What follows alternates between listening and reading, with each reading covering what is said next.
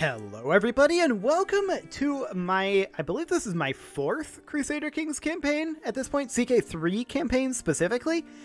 Well, hello, leaders of the Lambakanna Empire. They are, of course, not who we are focused on anymore. That campaign is officially over, and it is time to move on. So naturally, I'm going to click on this. no, I'm kidding. We're going to click on New Game, because we do need a new game and that will be fine. Now, we're not interested in any of these so-called interesting characters because there was a poll that was up on the channel, and in that poll, it was determined A, that we were going to play another game of Crusader Kings next, and B, it was determined that we are going to do a Mongol world conquest. Wait a second, this is 1066 it was specifically stated that this should be an early start date. We're to go back. Okay, this is great. This is just top tier content right now. So we're to go to 867. Wonderful. And we'll load this on in. Okay. Now, I was thinking about who we wanted to do. So obviously, our first goal is going to be to create the Empire of Mongolia, right? That's goal number one. The obvious choice here for a power play is the Kyrgyz Khanate. This guy would be the clear choice. But I think that's boring. So instead, we're going to go for one of these guys up here. Now, I kind of don't want to initially have borders with the Kyrgyz Khanate because I want a little bit of time to worm my way in there. So instead, we're going to go for one of these two. And the question is, which one? Well, I prefer horizontal horizontal counties over vertical counties, so Kotera it is. That's not arbitrary at all. Now, the ruler creator is an option now. And we haven't done anything with this. The question is, do we want to? And I think the answer is no. I think we go with the default ruler here. Let's go into the game rules, and we are going to just make sure that this is all correct. I want all of these on default here. There is one change. We are the Mongol invasion. So we're going to turn the Mongol invasion off because we are the Mongol invasion. Everything else, I think we're going to leave on default. End date of 1453 is fine. No issues there. All of this should be completely okay. Fantastic. We'll apply that. We are the Mongol invasion, and we're just getting started a little bit early. So we will go ahead and start. And here we are. So we need to immediately go for a lifestyle focus. We have an intrigue education, so I guess we'll do that. Hmm. Natural dread? We're already in the torturer tree, so I guess we can start working on that. Fantastic. We are not married, and I would like to fix that. Let's take a look at our situation with this guy. So he doesn't like us because we are actually a different religion. We may want to consider converting to Tengri.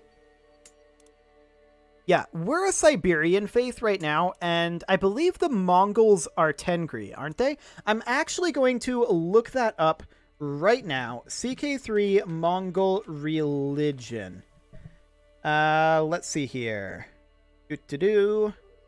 Reformed Tengri for the Khan of Khans achievement. Okay, we're not going for an achievement here, but yeah, we want to convert to Tengri. Can we do that now? No, we don't have enough piety. Okay, so that's something we need to work towards, is converting to Tengri. We should also bump up our tribal authority. That's something I'm going to do right now. There we go. We have a couple of men-at-arms regiments. We're going to need to work on those a bit. Religious relations will be ideal for us right now. This is all okay. Now, we are currently over our domain limit. We hold three tribes. Now, we're a count, and we don't get any bonuses from stewardship. So we should probably... Do we get... We do get concubines. At least in this religion. I'm not sure once we get to Tengri. That said, she is Tengri. We're going to do this.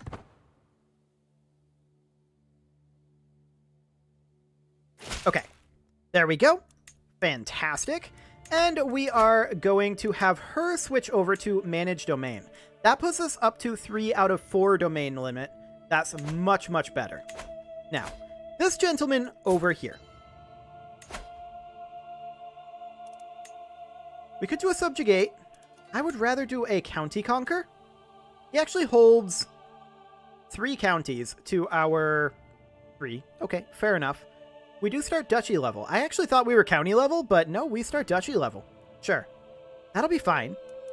We could do a duchy conquer. That would cost us 250 faith, though, because they're of our religion. These guys are Tengri. Okay. So this might be the better one to go with, but I do want to start working on swaying this guy. He is very powerful compared to us. As you can see, we have less than a quarter of his troops. So that's important. Now, we currently have light horsemen and light footmen as our men-at-arms. They're not great options. Since we are Mongols, we will probably never really go as heavy into infantry as I usually do. And yeah, we're, we're going to need to convert all of this as well. We are part of the Mongolic group, which is fine. And we are definitely going to want to deal with this. Unfortunately, we cannot convert at this time. We can demand her con- Oh wait, we can adopt her faith. Right, that's the thing we can do. That'll cost us only 250 piety. That's much, much better. So let's see what we can do to build ourselves up some quick piety. We can go on a pilgrimage. That will cost us a fair amount of cash.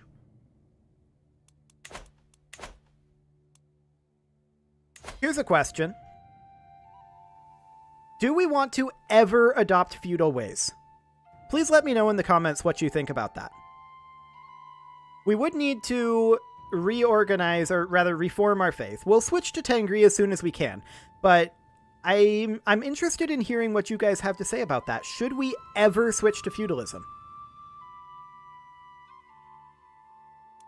I don't know. We'll see. I'm not willing to make a decision on that just yet. I am interested in declaring on this guy. I would like to conquer this over here. How much does he have? He has more troops than we do. Problematic. This guy also has more troops than we do. 1600. Okay. These mercs are not going to be helpful for us. We don't have that kind of cash. We have 1216 now.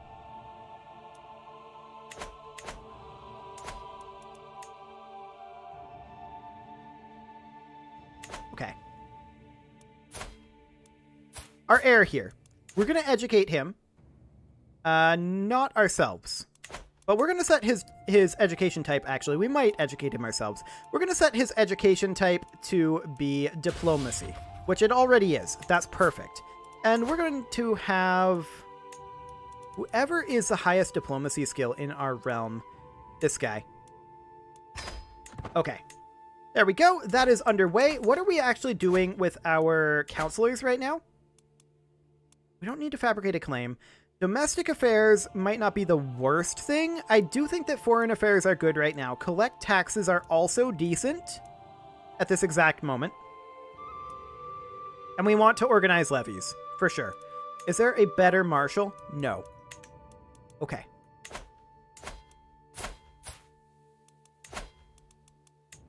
I'd love to attack this guy. That would only cost us 50 faith.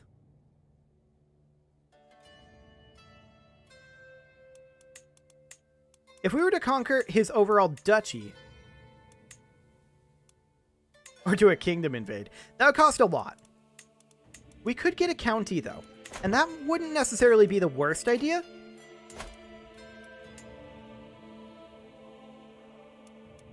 That would start building us up some cash and such. We may want to actually do some raiding, though. I think that's our plan right now. We're going to raise up our raiders up here. How much loot is up here? Uh, let's let's raise our local raiders. Okay. 15 loot. Let's do it. We're going to head up here and do some raiding. Get that done. We're going to need to build up our piety, but we need cash and prestige as well. The piety is kind of going to happen. Interesting. He wants to fight us? He should not fight us. He does have pikes. According to this, the chances are even. Our raid will be complete on 10 April. Okay. I don't suppose we can get out of there. No. We're going to have to fight him. We're going to hope our numbers will carry the day. Yes, our numbers do carry the day. Fantastic. We win this, but it is close. This will net us a huge chunk of prestige. An absolutely enormous chunk of prestige, in fact, I believe. Let's see. That netted us 107 prestige. That is fantastic. Now we're going to head back. And we're just going to get ourselves our cash as well. So that'll be great. We got that nice and looted. And we're just going to disband these guys for now. So 15 gold and 15 prestige. We're negative on our prestige right now. Why is that?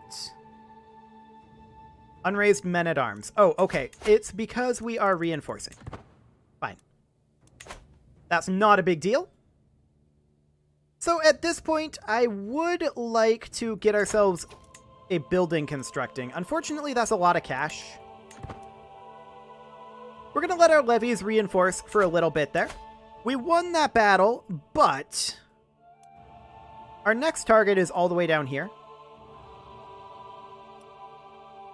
We're going to go ahead and raise our raiders up here, I think. And how many does he have now? 653. Okay.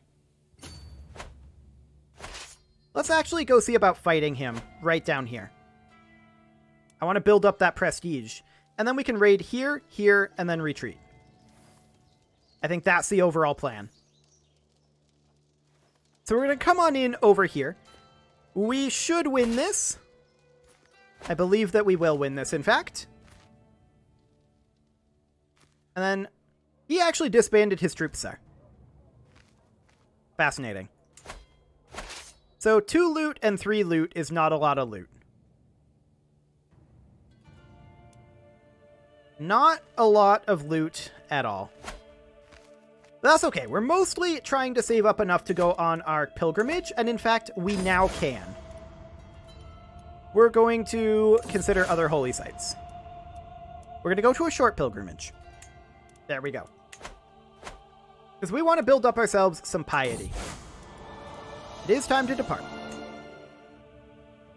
He's raising up troops again. He's going to walk in over here. It's down to being even again. Let's see how it goes. We succeeded the raid. We're going to head out over here. Hopefully we win this, but even if we don't, not a big deal. Spending 50 piety is not what we're looking to do right now. We'll find others to travel with. Okay. Nope. This is a... Well, no. No, this is a loss. Okay.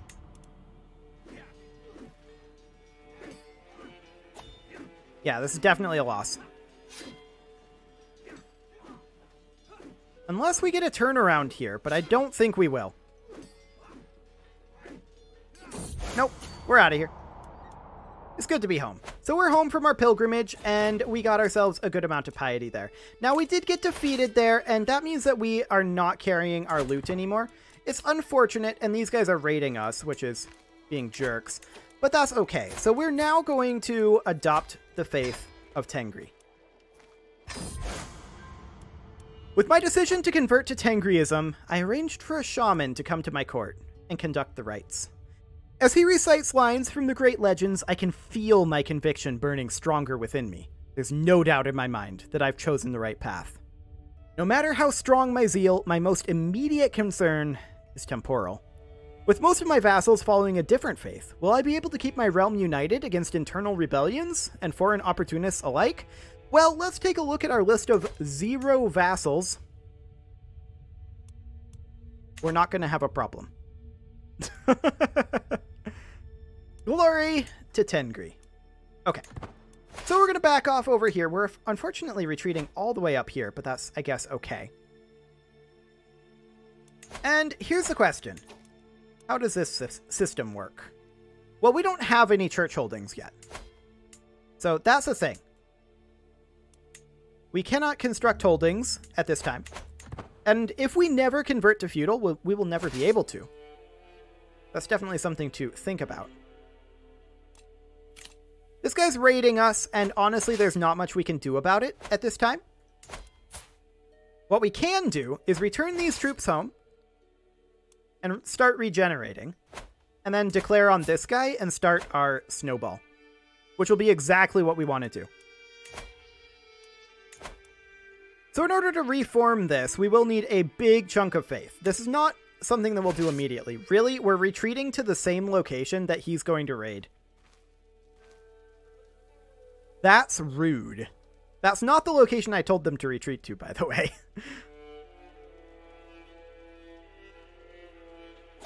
okay, so that's immediately going to happen. There's nothing we can do about this. We will lose this fight. We just need to switch it to late battle phase and then retreat. And now we're retreating all the way back to our capital. This is delaying us. We can create a duchy, but that costs a lot of gold. Gold that we don't currently have. We did, however, manage to get converted, and that should make this guy happier with us.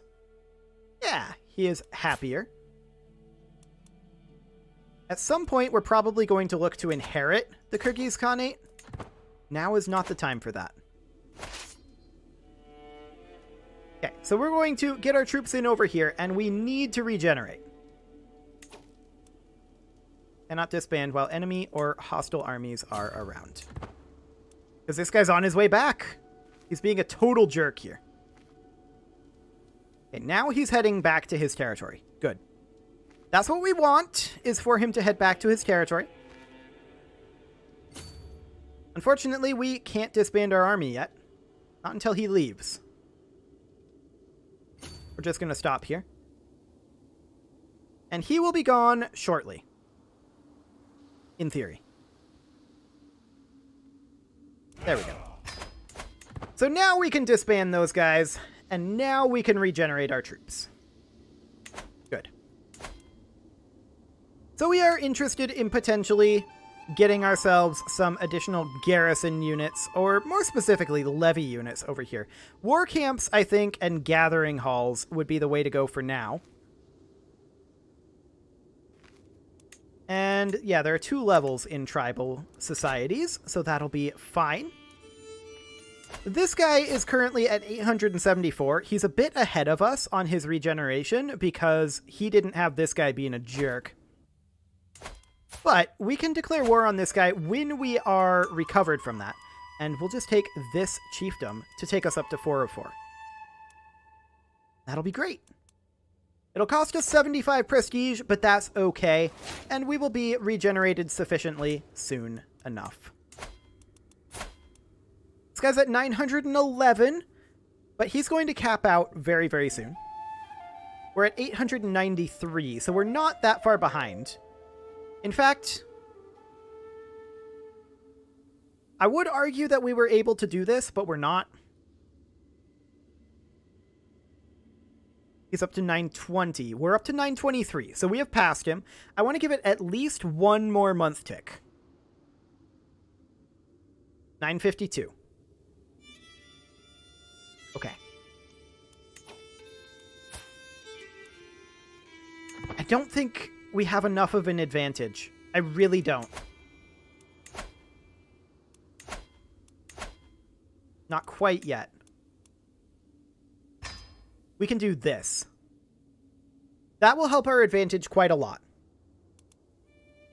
Now, eventually, I'd like to replace these footmen, but we don't have the ability to do that at this time. So this is going to be 1281 now, and now we're starting to get up to the point where we are solid. Let's wait until our light horsemen are completely good to go, and we'll grab fear tax. Excellent. I'm just going to cruise through on speed 5 for a moment here. Okay, drop this back down to speed 3 because we're only one tick away now from the light horseman being maxed out. There we go. Now I think we're good enough. So, we're going to conquer this county. We're going to raise all of our troops here. Three, two, one, and zero. And we're going to come up here and attack him. Perfect. We should win this handily. And there we go. That is a victory. Perfect. Our vassal is injured. What? What vassal? A counselor. Oh, okay. Our marshal was slain. Sure. Uh, this guy is actually fine. We'll make him be the next one. Fantastic. So there's no way that we stack wipe this, obviously. We're going negative in our prestige right now. Unfortunately, this is winning us fame and devotion because we're actually at war with him. But we'll go ahead and siege this on down. Eight months on that siege. What is the supply limit here? It's fine. We're currently taking attrition, though, and the reason for that attrition is... Lock in. There you go. No. Lock in. Just be sieging. 1% minus 9 per month. Okay. That'll be fine. So we have six months left on this siege, and he's still retreating. He has arrived back over here. He has stopped retreating, and he's on his way back north. He will reinforce on the way.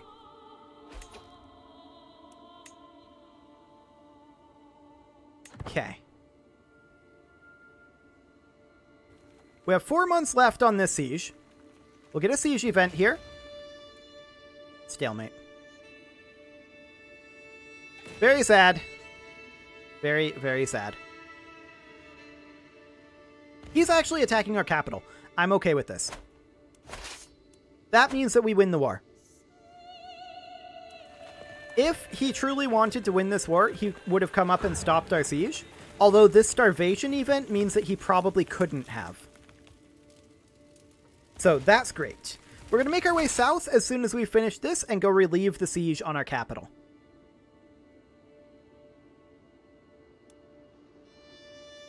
Man, we siege slowly without siege weapons.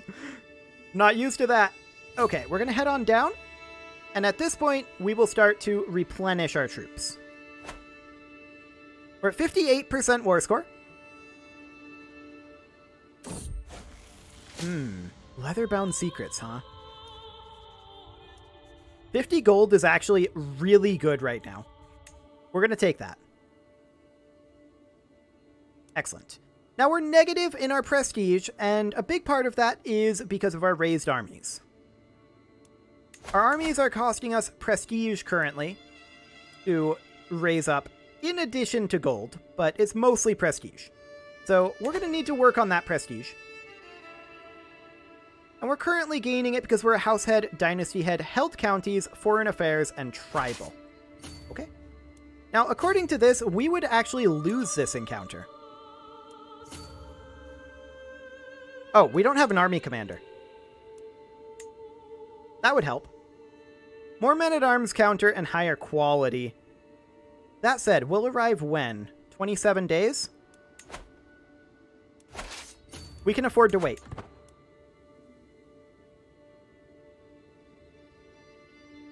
We're going to wait this out. We'll get a couple reinforced ticks. Once this dips down to two months left, then we'll go. They're taking attrition. We're getting reinforced. This will guarantee our victory here. Now we can go. We'll probably win now. And that's wonderful. He will not get his siege quite finished, and we've timed this deliberately. We could probably have gotten another month of ticks there, but I wanted to go. We did get it on the way, so that's perfect. We do win this battle, and that should win us the war.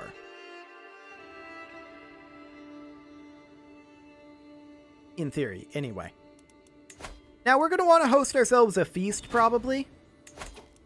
That'll cost 25 gold. That's not too bad, actually. Let's go ahead and do that. We're going to want that sweet, sweet prestige. I'm guessing he's retreating to here, but he could be retreating to here. We'll keep an eye. Welcome, friends! We're 95% war score right now. Ticking will likely get us what we need. We should have ticking war score. Yes, we do. You ought to be ashamed of yourself. Actually, we're not spending 150 prestige. She would spend 150 prestige. Yes, I want her to spend the prestige here, not me. Okay, he's going here. Oof. Bought Thirst for half a prestige per month for 50 gold.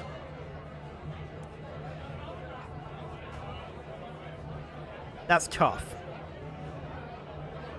The half a prestige per month is nice.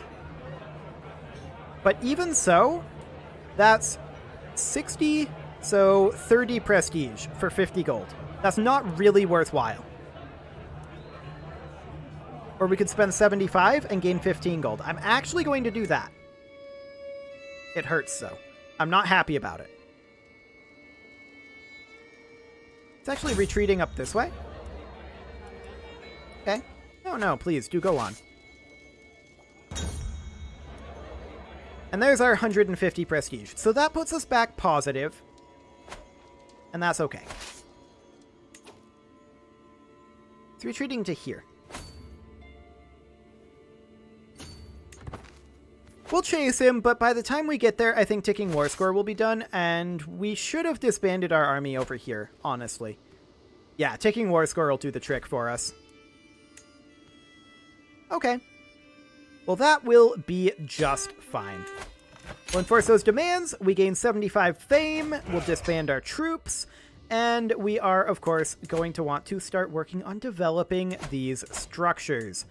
It is, however, time to put a cut in here, so I'm going to go ahead and do that. And next episode, we will continue spreading the Mongol Empire. You can leave your offerings to the engagement gods in the form of likes, comments, subscribes, and bell ringings, and I will see you all next time.